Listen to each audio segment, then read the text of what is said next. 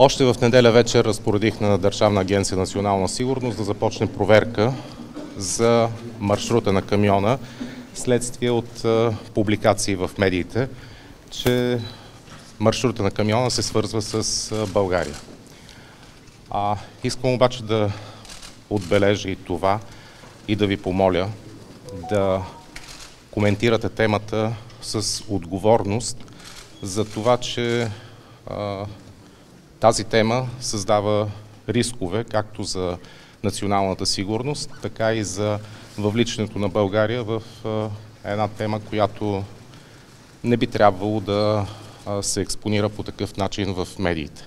Това е единствено и само темата за българска следа с камиона е в медийни публикации. Апелирам към вас за отговорност, защото използването на това словосъчетание предполага съучастие. Това означава ли, че няма България, следа? България няма съучастие в подготовката на взрива на Кримския мост. Няма и такова обвинение и отправено а, официално от руската страна, така че България няма съучастие в а, подготовката на взрива на Кримския мост. Ами, А Защо какъв е проверката, която сте нала- Това се изяснява от съответните органи. Уведомена е и прокуратурата за проверката, която извършва ДАНС. За резултатите от проверката ще бъдат съответно информирани компетентните органи.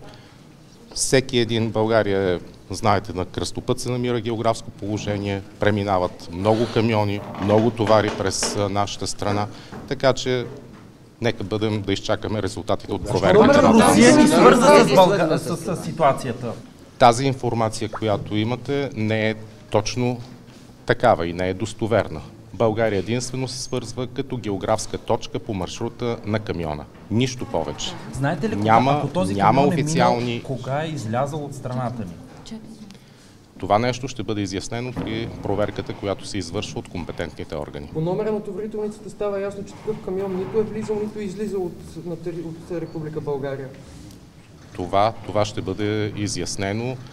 Всички документи, с които разполагат съответно митническите власти, съответно органите на МВР, съответно Държавна агенция национална сигурност ще бъдат изяснени и информация ще получат компетентните органи, които имат отношение към случая. Външно министерство са извикали на консултации руския посланник относно твърденията все пак на шефа на Следствения комитет на Руската федерация, както и твърдения на руския президент. Вижте, пак казвам, това е само публикации в медии. Официална атака срещу България от руска страна няма.